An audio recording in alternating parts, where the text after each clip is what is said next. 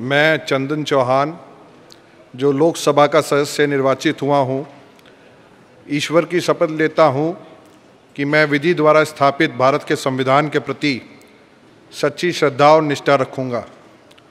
मैं भारत की प्रभुता और अखंडता अक्षुण रखूँगा तथा जिस पद को मैं ग्रहण करने वाला हूँ, उसके कर्तव्यों का श्रद्धापूर्वक निर्वहन करूँगा।